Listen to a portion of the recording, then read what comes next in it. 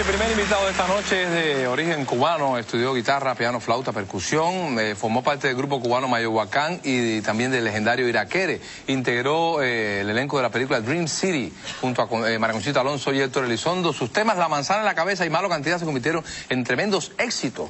Es un creador joven, infatigable, lo presento en verso. Pocos cantan como él, con melodía y destreza. Con la manzana en la cabeza, aquí está Carlos Manuel.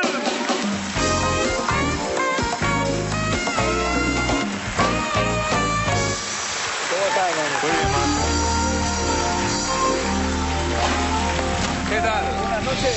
¿Cómo te va la vida? Encantadísimo de Sí. estar por primera vez en tu show. Pues aquí estamos. Siempre lo veo en la televisión y, y decía... Bueno, si lo ves en otra parte me, me, me asombraría. Sí. bueno, es que... El micrófono, se, cayó micro- se te cayó el micrófono, espérate. A ver, a ver. Se te cayó el micrófono. ¿Dónde está? Ven- venga, venga, venga, que, vengan los técnicos. Yo le digo técnico, a él, no es técnico de nada, pero le digo para decirle de alguna manera. Hágalo porque no. Voy a decir que venga el tarugo, que venga el técnico, que queda más elegante. Es un figurante de aquí que hace de técnico. Gracias, maestro, gracias, maestro.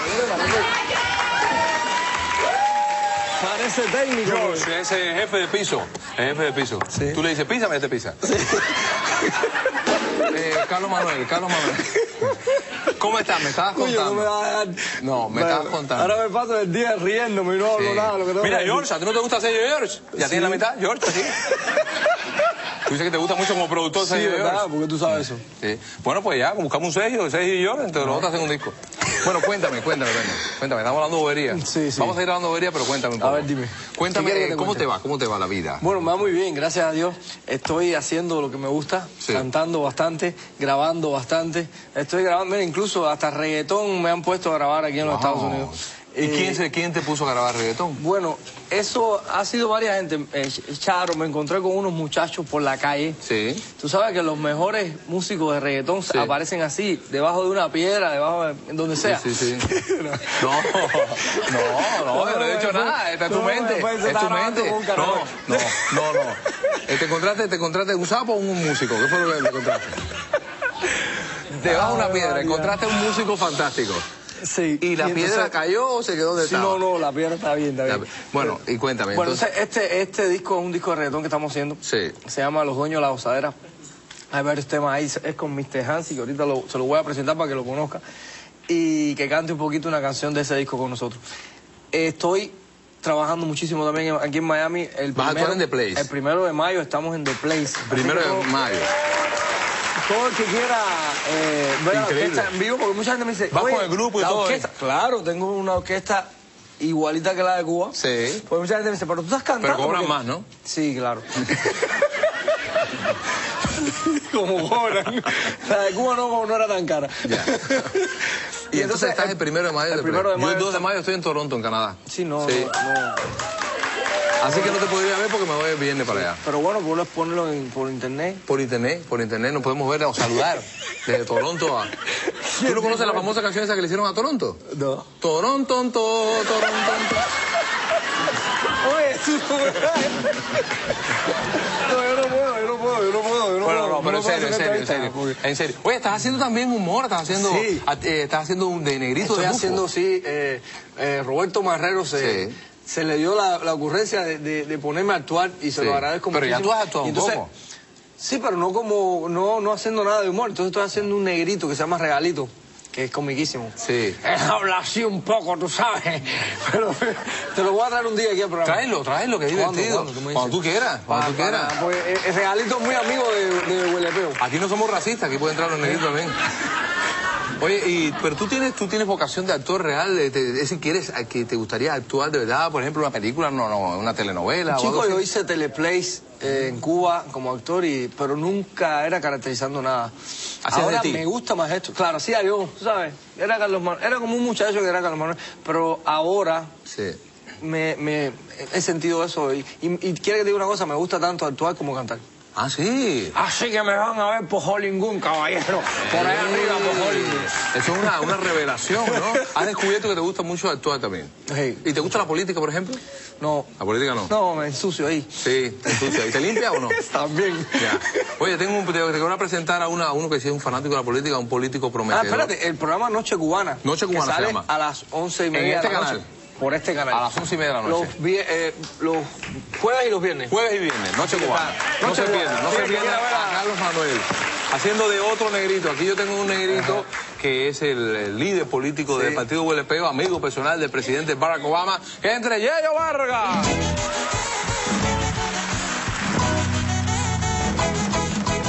Este es el partido, partido huele feo. Este es el partido, partido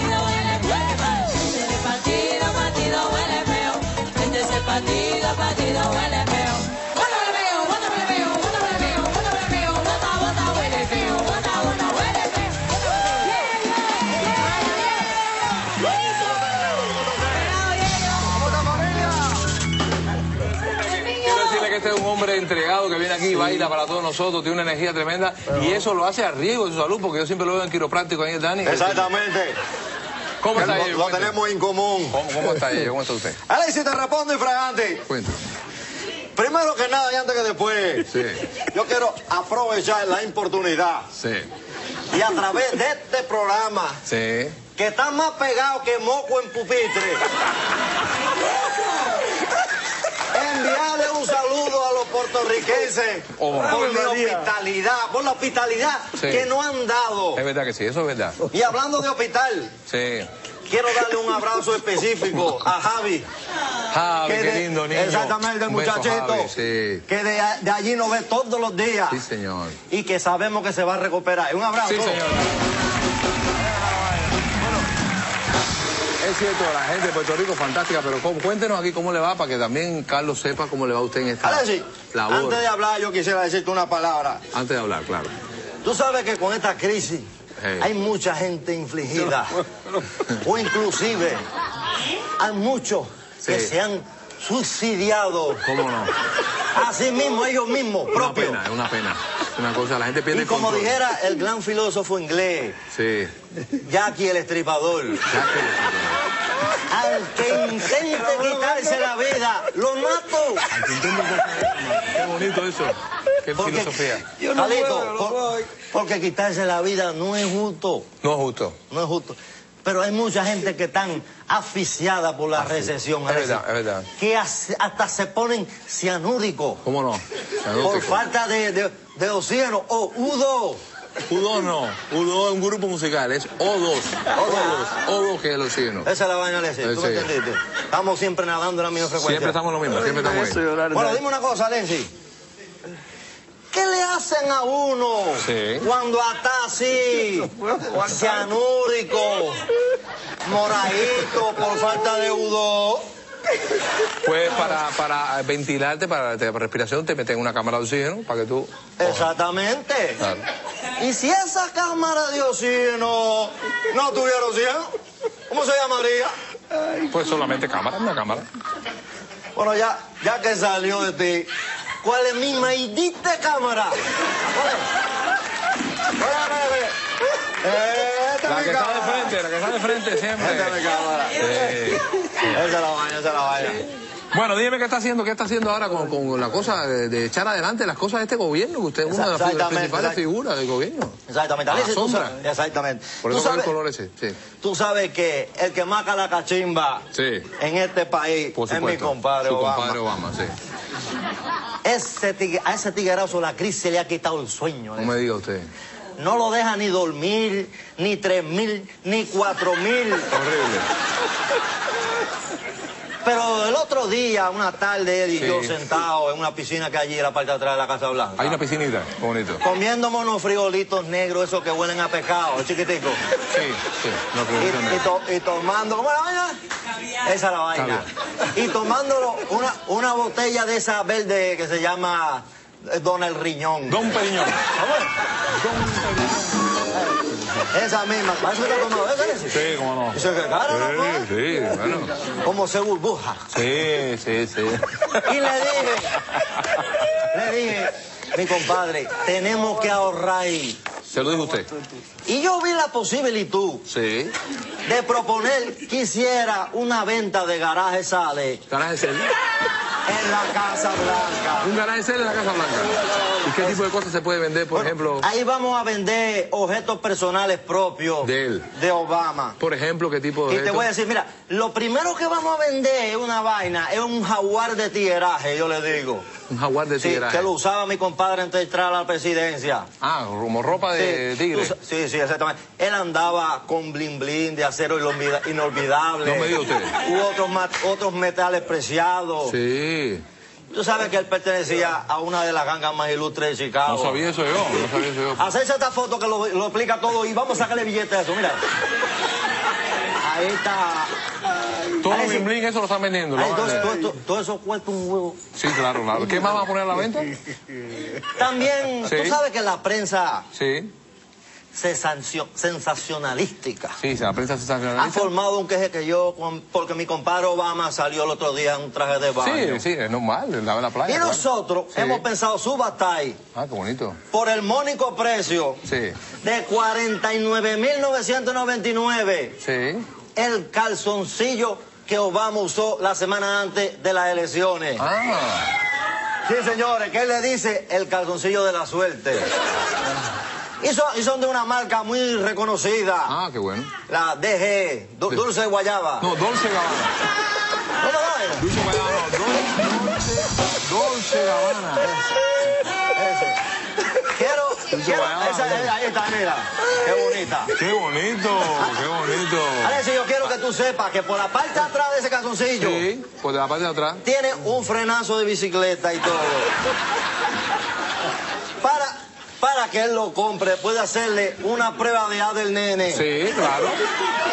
Para que vea que hay autenticidad en la vaina. De que eso es de De que eso es del tipo. Oye, qué bonito. ¿Y tiene algún objeto más que Sí, dice sí. tenemos poco tiempo? Tenemos, tenemos también aseo personal. Aseo Parte- personal. parte de aseo, de aseo Pon- ponga personal. la foto. Ahí te voy a poner la, la foto, ahí está. Ah, ese es el cepillo de Obama. No precisamente. Ese es el cepillo de mi comadre Michelle. Ah, claro. Como usted sabe, ella tiene una sonrisa bien amplia. Sí, sí. O sea, sé que, que, que en esa boca hay más dientes que un, un contrabando de peine. Sí, sí. Bueno, y ella, muy ¿y generosa, algo más? quiso- ¿Algo más? quiso ¿Algún- objeto más? Bueno, no, estamos pensando bien la, la posibilidad Sí. de, de- Le tiré el ojo a la, a la, ofici- a la, a la alfombra que está en la oficina Hueval. Sí. Esa alfombra La que es alfombra. una alfombra histórica. ¿Por qué? ¿Por qué? Porque ahí fue a donde Clinton le hicieron la felicitación. No, felicitación, no, felación. Lo que hicieron fue una, una felación. Fe- no, yo Sí. juraría que felicitación. Porque con la cara de feliz que tenía ese hombre fue aquello. Bueno, usted, usted quiere decirle algo en especial cómo no. a, a Manuel. A Carlos Te vamos a hacer miembro honor y causa del partido por morte. Pero antes que todo, ¿tú tienes alguna prenda ahí que me dé? Aprenda. Una prenda, un reloj. No. No es para mí, loco, no es para mí. A ver, espérate, déjame ver, espérate. A ver. Eso, eh, yo creo que esto vale más que cualquier vaina, ¿eh? ¿Se la llave Carlos? Esa es la llave de un Mercedita. Ay, mi madre. Bueno, yo, yo después, después yo hablo con, con tu gente. ¿Para qué era la prenda? No, para donarla también. Y te vamos a entregar el carnet del partido Huelepeo. Honor y causa y por morte. Ah, mira, Ahí lo tiene. Muchas gracias. Y Debería primero, cantar, ¿no? Debería. primero va- tienes que hacer uso del himno Del himno. de iniciación. Venga. Pues aquí, aquí está. Es muy fácil. Dice, Hay que ¿cómo? Ay, qué emocionante se me... ¿Cómo me con hoy, loco? Ay, no, ay, no. Mm, Ay, qué emocionante se me cumple el deseo. Me fui con el mismo edad. Esto lo vemos. Ay, qué emocionante el deseo. Un militante del partido huele feo. Ay, qué emocionante se me cumplió el deseo. Un militante del partido huele feo. Ay, qué emocionante se me cumplió el deseo. Hacer los militantes del partido huele feo. Aquí emocionante se ve un deseo. Ahora son militantes del partido europeo.